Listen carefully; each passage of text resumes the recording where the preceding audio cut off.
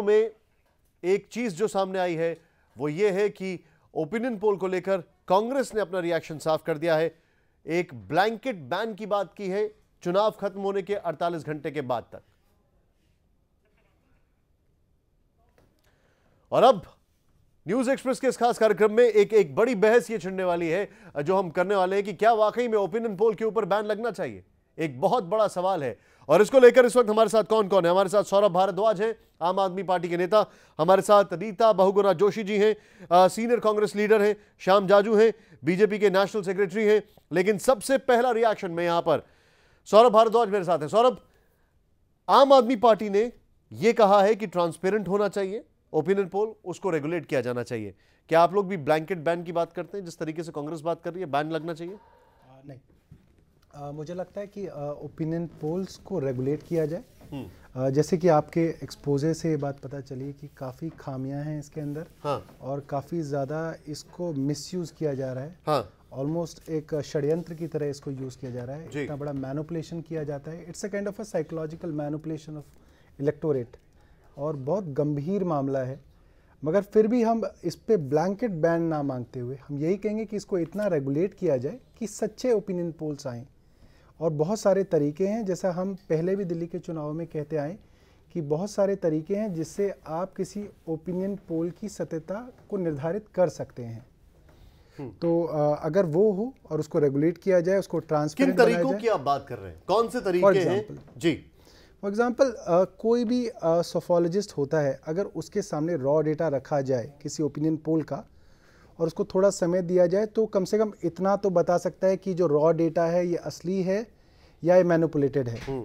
तो एक चीज़ तो शायद बहुत आसान है कि कोई भी ओपिनियन पोल हो उसका जो सारा का सारा ड्रॉ डेटा है वो कहीं पे पब्लिकली अवेलेबल होना चाहिए ताकि कोई भी सफोलॉजिस्ट उसको देख के उसके बारे में अपनी राय रख सके कि ये मैनुपुलेटेड तो नहीं है and because i'm not a, a professional sophologist so i cannot say but i'm sure there are a lot of ways जिससे हम इसको ट्रांसपेरेंट आप जो पॉइंट रेज कर रहे हैं मैं यहाँ पर अपने दर्शकों को बता दूँ हमारे साथ जो गेस्ट जुड़ चुके हैं एक बार फिर से श्याम जाजू जी हैं जो बीजेपी के नेशनल सेक्रेटरी हैं हमारे साथ सौरभ भारद्वाज है आम आदमी पार्टी के जो नेता हैं हमारे साथ रीता भगोरा जोशी जी भी हैं। श्याम जाजू जी मेरा सवाल आपसे क्या ओपिनियन पोल पर बैन लगना चाहिए? क्या कहेंगे आप? क्योंकि अभी इस वक्त इस देश के सामने बड़ा सवाल यह खड़ा हो रहा है कि जितने भी ओपिनियन पोल आते हैं या जो भी ओपिनियन पोल आते हैं ग्यारह एजेंसियों के बारे में तो एक्सपोजे हम कर चुके हैं। यानी कहीं पे भी जो मैनिपुलेशन है वो इतना ज़्यादा होता है कि कोई भी दर्शक जो है या कोई भी वोटर है इन्फ्लुएंस हो सकता है उससे। कोई भी सिस्टम के बारे में एकदम कोई एक अपना ओपिनियन बनाना या एक टुक बात कह देना इससे उस पर न्याय नहीं होता। हम्म। हर विषय में हर सिस्टम में कमियाँ होती है। वो कमियाँ कम करके वो सिस्टम चलाना ये ज़्यादा उपयोगी होता है। ये ज़रूर है कि कुछ प्रेजुडाइज होकर ओपिनियन पोल लिए जाते हैं, कुछ मैनेज करने के लिए सर्वे होते हैं, उसका प्रचार के लिए उपयोग भी होता है। पर मुझे ऐसा लगता है कि कोई ऐसा कर रहा है इसलिए उस पर तुरंत बैन करना, ये उससे न्याय नहीं होगा। हर विषय में कोई कमियाँ रहती है, वो कमियाँ दूर कर कर सिस्टम साइंटिफिक कैसी बने, इसकी चिंता करनी चाहिए। केवल एक आध दो ओपिनियन पोल अपने खिलाफ आ रहे हैं और इससे लोग प्रचार कर रहे हैं या कोई एजेंसी मैनेज हो गई इसलिए ये पूरा सिस्टम बंद करो ये कहना ये रिएक्शनरी है। और आज तक जब अपने फेवर में ओपिनियन पोल आते हैं क्या तो आप हमारा कोई मत नहीं। मैं आपसे एक चीज़ जानना चाहता हूँ। अपने विषय मैं आपसे मैं आपसे एक चीज़ जानना चाहता हूँ। आम आदमी पार्टी का यह कहना है कि जो sting operation operation prime minister से चीज़ें सामने आई हैं उससे ये चीज़ साफ़ दिखाई देती है कि जो पॉलिटिकल पार्टीज़ हैं या पॉलिटिकल पार्टी है वो षड्यंत्र रचती है लोगों का जो ओपिनियन है लोगों का जो मत है लोगों का जो सोचने का तरीका है उसको मैनिपुलेट करने के लिए। क्या आप इस बात से सहमत हैं? कोई भी पार्टी किसी को मैनिपुलेट करके अपना प्रचार करना चाहे तो वो पार्टी का अपना विषय है।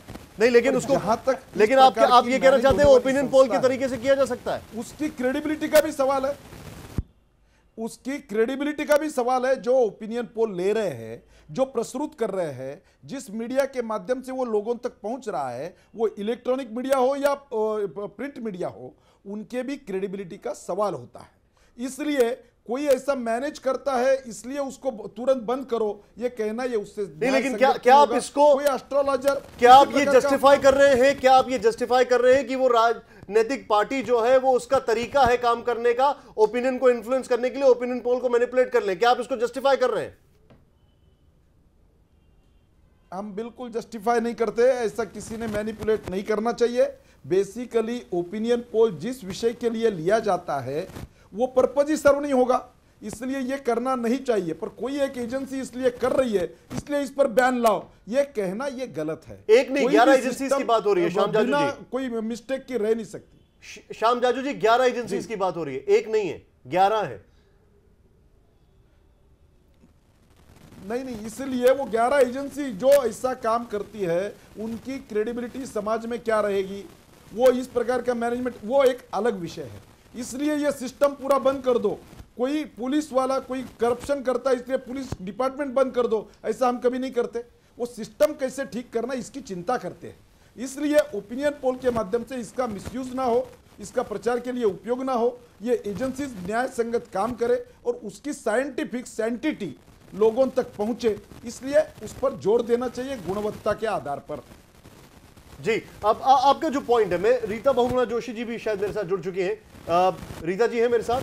रीता जी स्वागत है आपका न्यूज़ एक्सप्रेस में।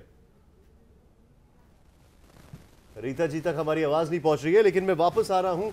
अपने दर्शकों को दिखाना चाहूँगा कि अजय माकन और अरविंद केजरीवाल ने क्या क्या कहा है वो हम दिखाना चाहेंगे। मेरे साथ सौरभ यहाँ पर मौजूद है। सौरभ मैं सीधे शब्दों में यह समझना चाहता हूँ अगर आम आदमी पार्टी की बात की जाए तो आम आदमी पार्टी अगर इसमें पॉलिटिकल कॉन्स्पिरेसी देती है और अपने साथ उनके एक लीडर्स में से एक हैं जो कि खुद इस देश के बड़े सेफोलॉजिस्ट रह चुके हैं तो आपके सजेशंस क्या हैं?